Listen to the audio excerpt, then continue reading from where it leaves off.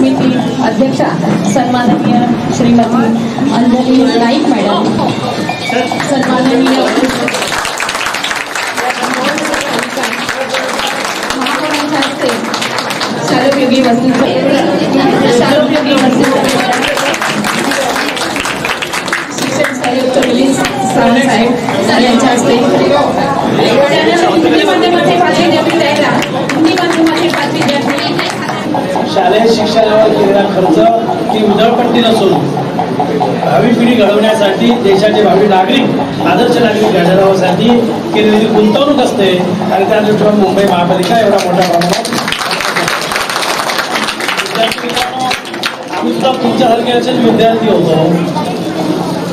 आम्हाला मला तर मुंबई महापालिका शाळेत शिकण्याचा योग आला नाही परंतु मी जिल्हा परिषद शाळेत शिकलोय. म्हणजे महापालिकेच्या शाळा जिल्हा परिषद शाळा.